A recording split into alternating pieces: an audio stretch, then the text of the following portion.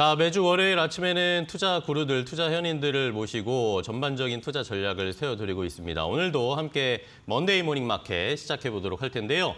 자, 오늘도 역시 특별한 투자 현인은 투자 구루를 모셨습니다. 바로 삼성자산운용의 ETF 컨설팅 본부 최창규 본부장과 함께 ETF 전략을 세워보도록 하겠습니다. 본부장님 안녕하세요. 안녕하세요. 네, 반갑습니다. 아유, 투자 고수나 현인이 아닌데 예, 이 자리에 모셔줘서 너무 감사합니다. 아, 이 투자 고수고 현인이시고 또 네. 투자계 셀럽 아니십니까? 그래서 저희가 모셨습니다. 아침에 이렇게 일찍 나와주셔서 너무나 감사하고요. 네. 자 일단은 이 본부장님 뭐 저도 여기저기서 많이 보고 또 투자와 관련된 어, 코멘트 주시는 것도 저도 많이 봤는데 네.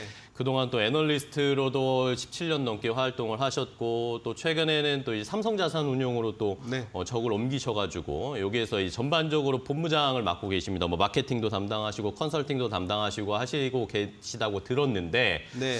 자 최근에 뭐 이렇게 또 옮기시고 또 이쪽의 시장을 바라보시는 소회는 어떠신지 뭐 처음에 네. 간단하게 좀 부탁드릴게요. 네, 이 방송 보시는 분들은 저를 잘 모르시겠지만 제가 모 프로에서 ETF 관련된 방송을 6개월째 하고 있고 요. 네. 예, 그 전에는 삼성 자산운용으로 이직하기 전에는 예, NH투자증권에서 어, 파생 상품 담당하는 애널리스트로 음. 활동을 했습니다. 네. 하다 보니까 몇 가지 갈증이 생기더라고요. 어? 네. 아, 열심히 공부를 해서 아이디어를 냈는데 결국은 그 아이디어가 시장에서 소화되지 못하고 음. 공중에 산화되어 버리는 그런 안타까움을 겪다 보니까 아 그냥 내가 상품을 만들자 아, 뭐 개인 투자를 하자 이거는 자신이 네. 없어서 어, 못했고요 상품을 만들어서 이 상품을 금융 소비자들한테 딜리버리를 음. 한다면 그게 오히려 더 뜻깊은 일이 아니겠냐 라는 생각을 해가지고 NH증권에서 인덱스 개발팀을 먼저 만들었었어요 음. 인덱스 개발팀 하면 잘 모르시겠지만 마치 MSCI 기억나시죠? 그쵸, 그쵸. MSCI처럼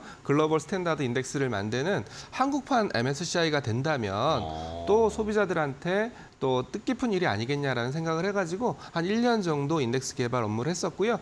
총 22개 인덱스를 개발했고 지금 뭐 제가 떠나고 난 뒤에 이제 음. 상품화된 것도 있지만 6개 정도 그 상품화돼서 어, 아마 금융 소비자들이 보실 때는 아이셀렉트라는 브랜드를 ETF 명에서 어, 예, 예. 보시면은 맞습니다. 그게 아, 제가 만든 팀이구나 생각하시면 될것 네. 같습니다. 그리고 삼성자산운용으로 이직을 해서 좀 재밌는 ETF 아니면 소비자들, 금융 소비자들 아니면 금융 투자자들한테 좀 의미 있는 ETF들을 좀 많이 전달하려고 어. 노력을 하고 있는데요. 저도 사람인지라 요즘 시장이 너무 힘들어서 그렇습니다. 어, 예, 어떻게 뭐 말씀을 못 드릴 민망할 정도로 예, 창피한 모습을 보여주고 있어서 이제 이렇게나마 방송으로서 음. 제가 갖고 있는 지식이나 제가 갖고 있는 경험들을 전달해 드린다면 뭐 좀 더 효과적이지 않을까 싶어서 오늘 방송을 아. 방송 출연을 결정하게 됐고요. 네네네. 예, 그리고 무엇보다 저희 집에서 가깝더라고요. 아 그런가요? 예, 예, 예. 아 그러면 이제 앞으로 뭐 저희가 때 되면 한 번씩 한 번씩 좀 출연을 요청 부탁드리겠습니다. 네. 꼭 부탁 나와주세요. 네.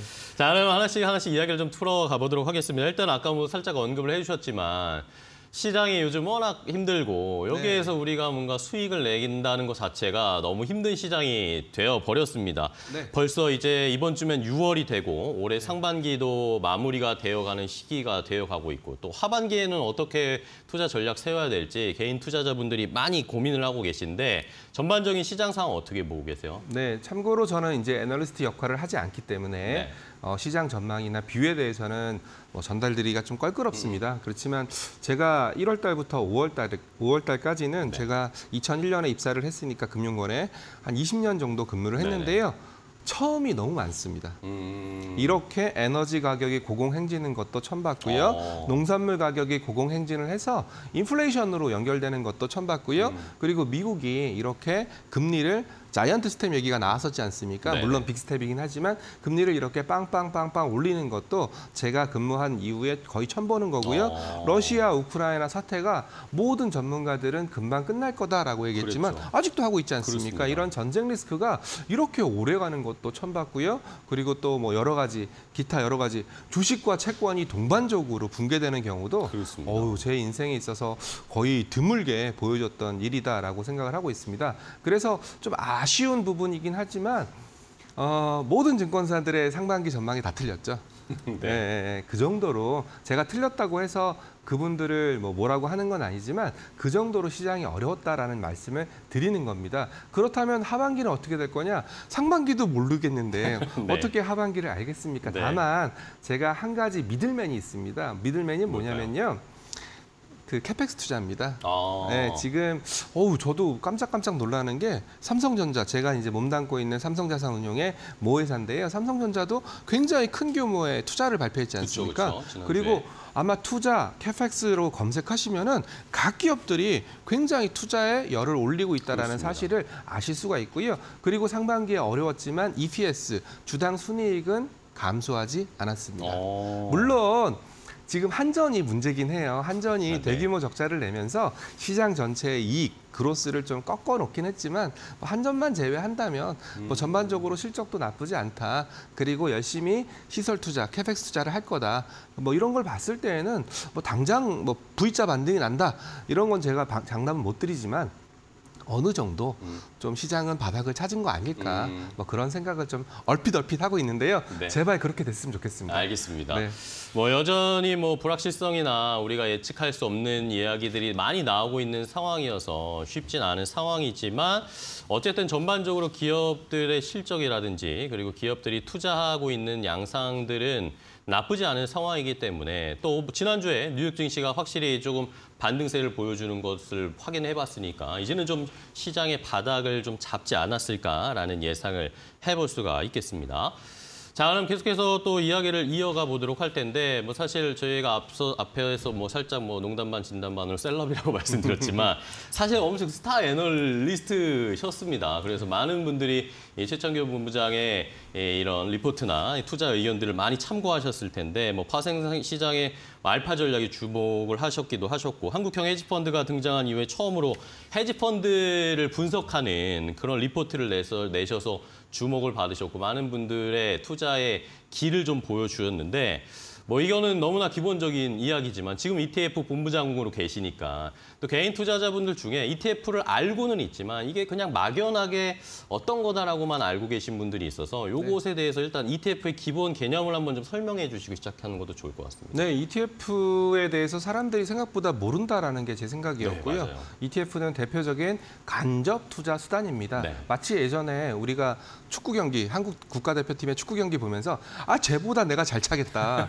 이게 네. 직접 투자고요. 예, 아니야. 그 사람들은 선발된 그 소수의 엘리트니까 그분들이 저보다 훨씬 잘할 거야. 믿을 수 있어. 예, 믿을 수 있어. 이게 바로 ETF의 기본적인 개념이라고 네. 생각하시면 됩니다. 그렇지만 두 가지를 기억하셔야 되는데요. 네. ETF의 반대편에 있는 개념이 있습니다. 우리가 소위 말하는 펀드라고 얘기하는 그쵸. 수익증권이 반대 개념에 있는 거고요. 이 수익증권이라는 친구는 자율성이 있습니다. 예를 들어서 어떤 매니저가 나는 항상 종목을 잘 고를 수 있어. 음. 나는 시장보다 항상 이길 수 있어. 여기서 시장이라는 것은 보통 우리가 S&P 500 음. 아니면 나스닥 100 나스닥. 이런 것들이 시장이라고 생각하시면 그쵸. 됩니다. 나는 종목을 너무 잘 알기 때문에 내가 종목을 골라서 포트폴리오를 구축하면 은 항상 S&P 500보다 이길 수 있어. 음. 이게 소위 말하는 수익증권 예, 펀드고요. 그쵸. ETF는 아니야, 너는 그래봤자 시장 수익률 못 쫓아가. 차라리 그냥 시장만 그쵸. 쫓아가. 아니면 어떤 규칙적인 룰에 의해서 포트폴리오를 구축하고 그 포트폴리오만 매매해. 음. 이런 개념이 ETF라고 생각을 하시면 될 것 같습니다.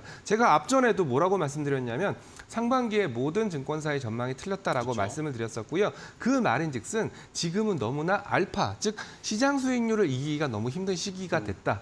왜냐하면 각종 데이터 그리고 또 우리가 몰랐던 신산업들이 계속 등장을 하고 있거든요. 음. 그러다 보니까 야 시장 못 이길 것 같아. 그러면 그냥 시장에 투자해.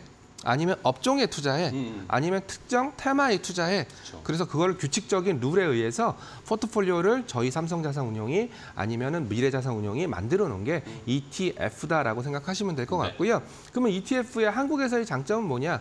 한국에서의 장점은 거래세가 없습니다. 음. 예, 거래세가 없고요. 그리고 그 매매 차이, 양도 차익에 대해서는 상품마다 조금씩 틀리긴 한데 좀 세제적인 이득이, 이- 이득이 있고 또 퇴직연금에서 투자할 수 있다. 그렇죠. 음. 그런 장점이 있기 때문에 요즘 각광을 받고 있고요. 그리고 마지막으로 하나만 더 말씀드리면 음, 네. ETF도 분산 투자의 가장 대표적인 대명사인데요. 이 E ETF, ETF, ETF, ETF를 또 한 번 바스켓으로 묶어버리는 ETF 매니지드 포트폴리오라는 어. EMP라는 또 새로운 또 장르가 등, 등장을 하고 있어서 결국은 ETF 시장이 이만큼 크게 되었다. 있다라고 생각하시면 될 것 같습니다. 알겠습니다. 자, ETF에 대한 개념을 명확하게 설명을 해주셨는데 본부장님께서 그러면은 어쨌든 뭐 아직 모르시는 분들도 계시지만 또 적극적으로 최근에는 ETF를 투자하시는 분들 이런 장점들을 아셔가지고 ETF를 투자하시는 분들도 많은 상황입니다. 시장의 상황에 따라서 ETF 투자를 또 빠르게 대응하시는 분들도 네. 생각보다 많은 상황인데 자 그럼 전반적으로 지금 현재 ETF 시장 어, 어떻게 보고 계신가요? 제가 작년에 이직했을 때만 해도 ETF 시장은 딱 두 글자가 대세였습니다. 테마. 네, 아마 이 방송 보시는 분들도 아 그때 뭐 메타버스 ETF에 그쵸. 물렸지 뭐 이런 말씀들을 많이 ETF. 예, 예, 많이 하실 텐데요. 네. 그때까지만 해도 시장이 굉장히 좋았고 또 미국에서 계속 유동성이 공급되는 그쵸. 그런 시기였기 때문에 그로스 성장 중심의 종목들을 많이 담고 있는 ETF 중심으로 굉장히 어, 인기를 끌었었습니다. 그렇지만 금리가 올라가면서 이 성장에 대한 가치가 깨지면서 뭐 그런 ETF들은 굉장히 큰 폭의 하락을 기록을 했고요. 그러다 보니까 시장 반대 급부적으로 그리고 또 제가 상반기에 너무 어려웠다라고 말씀드렸지 그렇죠. 않습니까? 주식도 깨지고 채권도 깨지고 그러다 보니까 사람들이 안전판을 찾아서 이동을 하고 있습니다. 음... 예를 들어서 대표적인 안전판은 채권인데요. 그렇죠. 이렇게 금리가 올라가는 구간이라면 duration이 긴 채권이 좋겠습니까? 아니면 굉장히 duration이 짧은 채권이 좋겠습니까? 네, 많은 분들이 알고 계시죠. 네. 굉장히 duration이 짧은 초단기 그쵸. 채권. 왜냐하면 duration이 길어버리면 금리가 조금만 튀더라도 굉장히 네. 많이 하락하거든요. 그거를 뭐 볼록성이라고 얘기 많이 하는데 그러다 보니까 시장에는 뭐 KOFR이라는 뭐 초단기 하루짜리 리보 그러니까요. 금리거든요. 이쪽으로 자금이 몰리고 있습니다. 음. 그리고 또 하나 자금이 몰리고 있는 게 있는데 어, 지금 그 이 건물도 매입해서 아- 아마 좀 뭐 좀 더 원활하게 돈을 굴리고자 했다면 REITs로 바꿨을 거지 않습니까? 네네. 요즘은 REITs ETF가 아. 거의 대세 수준의 자리를 잡고 있습니다. 그래서 원래 REITs ETF는 그 타이거에서 네네. 딱 하나가 있었는데요. 최근에 아리랑 한화자산에서도 그러니까요. REITs ETF가 나왔고요. 그리고 아, 키움 자산에서도 음. REITs ETF가 나왔고요. 그리고 ETF의 친구라고 할 수 있는 ETN이라는 게 그쵸. 있습니다. ETN은 증권사에서 발행하는 ETF와 유사한 상품인데요. 심지어 레버리지 REITs ETN도 오. 나왔습니다. 음... income을 두 배로 주는 거죠. 네네. 예, 그 정도로 시장은 좀 안전 성향으로 집중하고 있다. 지금은 공격보다는 수비에 나설 때다라고 생각을 하시는 것 같고요. 그리고 메릴린치에서 BOA에서 글로벌 펀드 매니저 대상으로 survey를 했던 그런 그 자료가 월마다 나오는데요. 네. 지금 글로벌 펀드 매니저가 1순위로 꼽고 있는 자산이 cash입니다. 네. 네. 현금. 네, 그래서 알겠습니다. 이런 것들을 보시면서 ETF를 보시면서 시장의 그 투자 트렌드가 어디로 흘러가고 있는지 이런 걸 보시는 재미도 쏠쏠하실 겁니다. 그렇습니다. 네. 자, ETF의 자금이 어떻게 흘러가는지에 따라서 시장의 분위기나 이 투자자들의 심리도 확인할 수가 있다라는 것을 알려 주셨는데, 자, 그런 면에서 또 최근에 어, 이 미국 지수를 추종하는 뭐 S&P나 나스닥을 추종하는 이런 ETF에도 좀 자금이 들어가고 있다라는 기사나 이런 통계들이 좀 나오고 있습니다. 이런 네. 걸 보면은 어 이제는 미국 시장에 뭔가 지수 하락을 더 나오지 않을 것이다. 이제는 좀 바닥 잡은 것인가라고 생각하는 투자자분들도 많으신 것 같고 실제로 이렇게 지수를 추종하는 ETF에는 자금이 들어가고 있는데 반면에 또 인버스에서는 오히려 네. 자금이 좀 빠져나가고 있다라는 그런 이야기들도 있습니다. 어떤 상황인가요? 일단은 그 지수에 배팅하시는 고객과 인버스에 배팅하는 고객은 다릅니다. 음. 예, 왜냐하면 왔다 갔다 하는 그런 개념은 아니고요. 제가 한 1년 정도 시장을 분석하다 보니까 네. 재미난 현상이 일어났는데 혹시 전국에 있는 맛집은 어디에 있습니까? 글쎄요. 서울에 있죠. 서울에 많죠. 예, 예. 굳이 네. 뭐 여수까지 내려가서 간장게장을 먹을 필요는 없, 그렇죠. 듯이 서울에도 맛있는 전 세계 좋은 종목은 다 미국에 미국에 있다라고 그렇죠. 생각하신 겁니다. 이 컨빅션 확신이 음. 점점점 강해지고 있습니다. 어우, 저는 깜짝깜짝 놀라겠는데요. 또 한국 투자자들이 또 기술주 좋아하시거든요. 그쵸. 그러면 나스닥 100. 그리고 아이 나 기술주는 너무 변동성이 커. 그러면 S&P 500. 음. 딱그 공식이 고착화되고 있는 듯한 느낌을 받고 있습니다. 저도 한국에 있는 하나의 투자자로서 좀 마음 아프긴 한데 네. 이런 성향들이 너무 강해지다 보니까 어떤 움직임들이 일어- 일어나고 있냐면 S&P 500이나 나스닥 100이 빠지면 돈이 들어옵니다. 아, 네. 오히려 더. 네. 어. 그리고 이미 이미 상당 부분 투자를 하셨고요. 네. 마치 퇴직연금의 must have 아이템 1순위가 S&P 500 ETF고요. 네. 2순위가 나스닥 100 ETF, 3순위가 미국 반도체 ETF입니다. 음. 네, 이런 것처럼 네. 이거는 일시적인 현상이 아닙니다. 지금 어. 이제 제가 이 자리에서 말씀드리는데 이거는 계속 S&P 500이 빠질 때마다 개인 자금들이 들어왔었습니다. 음, 네, 그런- 매수를 예, 하고 계신 거죠. 예, 그런데다가 어, 개인뿐만 아니라 뭐 보험사들도 S&P 500이나 한국 투자보다는 S&P 500이나 나스닥100 투자를 좀 늘리시는 것 같아요. 음, 그러다 보니까 이쪽은 뭐 장이 반등할 것 같아서 그래서 돈이 들어오는 건 아니고요.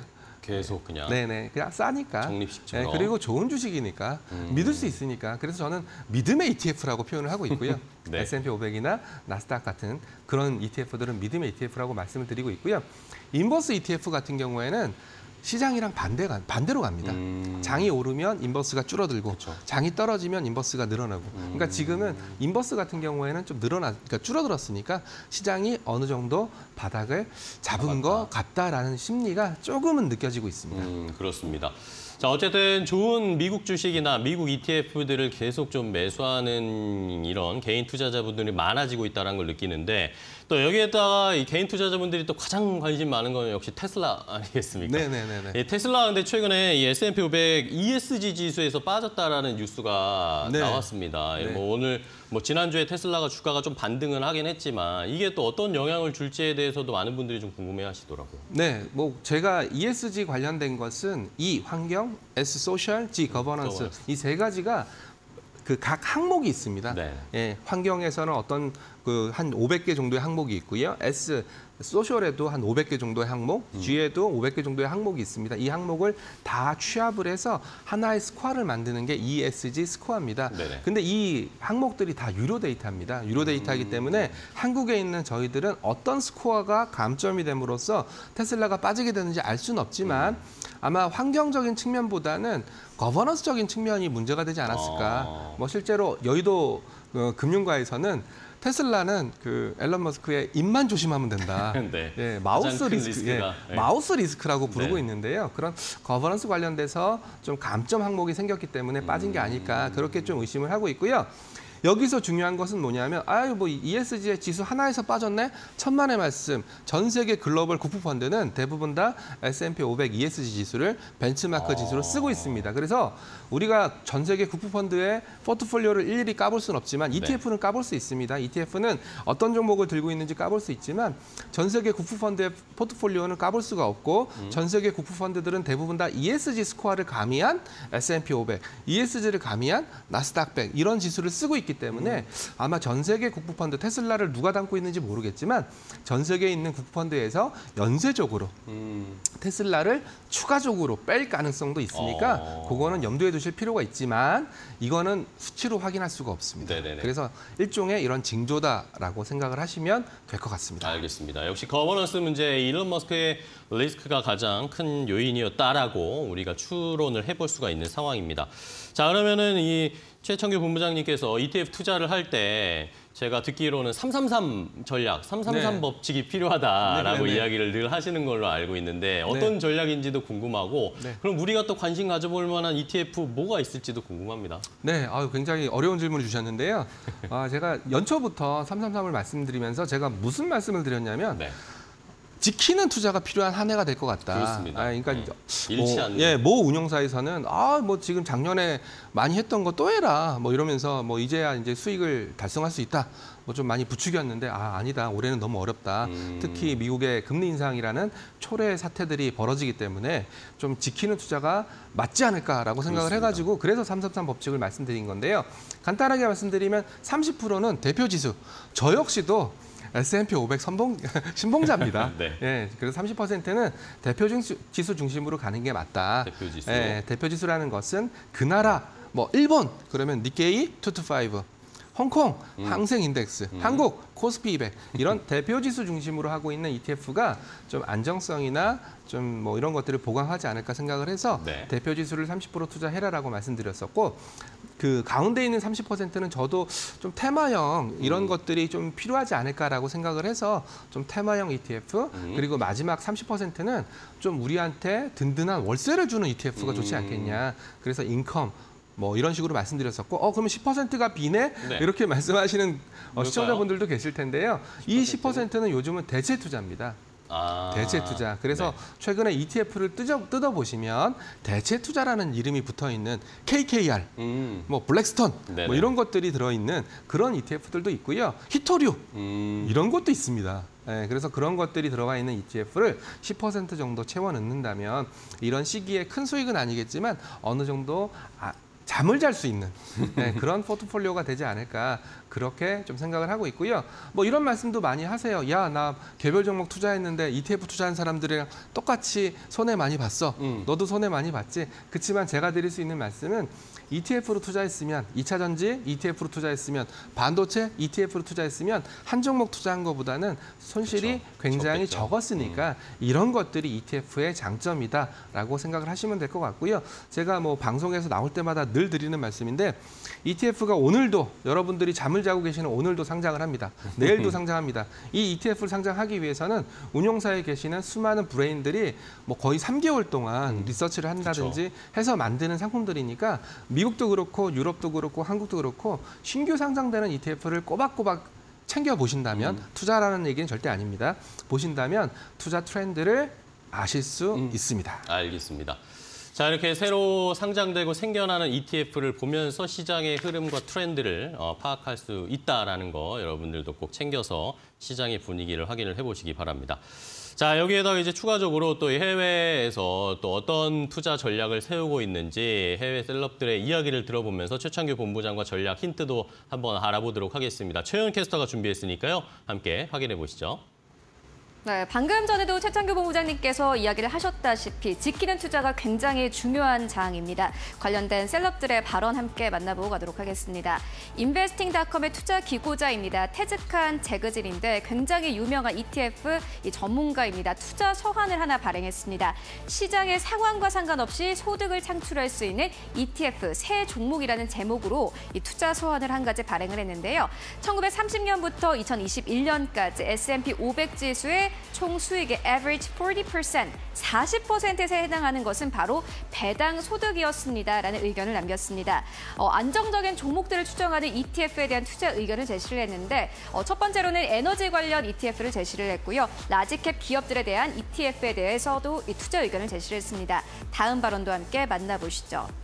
어, 부동산 투자 신탁, 즉 리츠는 인플레이션을 합리적으로 방어할 수 있습니다. 임대료는 다른 가격만큼 not as rigid as 경직되지 않았기 때문입니다 라는 투자 의견을 제시를 했는데요. 인플레이션이 오르게 되면은 부동산 가격도 오르고 이를 해지할 수 있는 괜찮은 수단이다 라는 투자 의견을 제시를 했습니다. 이 새 ETF에 대해서 이 최창규 본부장님께서는 어떻게 생각하고 있을지 스튜디오 연결해서 들어보고 가도록 하겠습니다.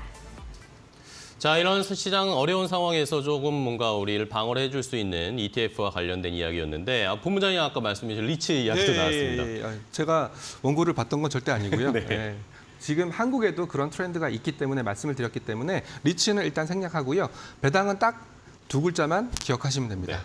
배당 귀족. 배당 귀족. 네. 아, 두 글자가 아닌 건네 글자인데요. 네. 배당 귀족이라는 건 뭐냐면 S&P 500 종목들 중에서 25년간 배당을 늘렸던 회사들을 아. 포트폴리오로 구축한 겁니다. 최근에 네. 한국에서도 배당 귀족 ETF가 상장을 했고요. 오. 배당 귀족 펀드도 굉장히 많이 있으니까 결국은 이런 투자 트렌드가 배당 귀족이라는 상품으로 귀결되었구나라고 생각하시면 굉장히 이해가 편하실 것 같고요. 네. 지금도 장 열리시면 배당 귀족이란 ETF 찾으셔가지고 음. 어떤 종목이 담겨져 있는지 코카콜라가 담겨져 있는지 음. 한번 확인하시면 어, 뭐 종목을 투자하시는 시청자분들이 됐건 ETF를 투자하는 시청자분들이 됐건 도움이 되실 겁니다. 알겠습니다.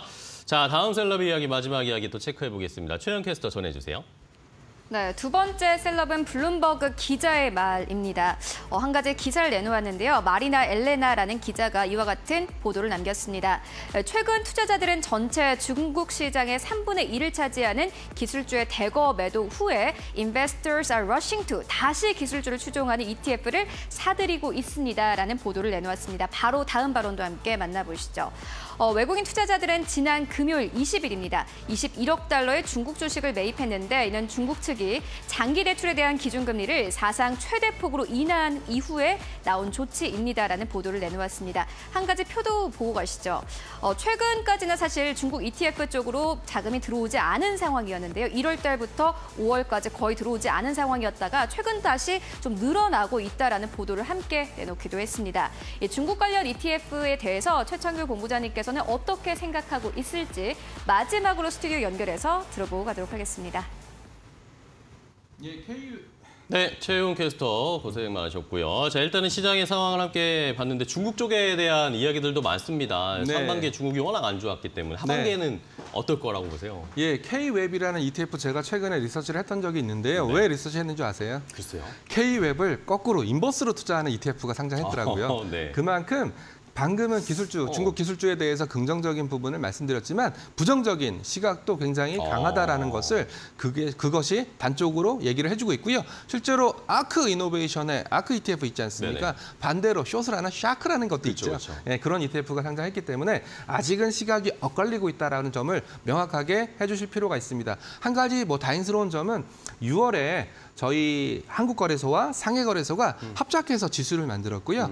어, 뭐 예를 들어 뭐 한국에 있는 대표적인 전기차 업체 그리고 한국에 있는 대표적인 이차 전지 업체를 합쳐서 지수를 만들었으니까 거기에 들어가 있는 종목들이라든지 ETF들을 한번 확인하시면 좋을 것 같습니다. 알겠습니다. 자, 중국 시장에 대한 의견은 아직도 조금 엇갈리고 있다라는 것까지 함께 확인을 해봤습니다. 오늘 삼성자산운용의 최창규 본부장과 함께 이야기를 나눠봤는데 오늘 ETF에 대한 속 시원한 해결책 좀 알려주셔서 너무 감사하고 네. 다음에 또 기회 되면 뵙도록 하겠습니다. 네, 오늘 감사합니다. 고생 많으셨습니다. 예, 불러주셔서 감사합니다. 고맙습니다. 네.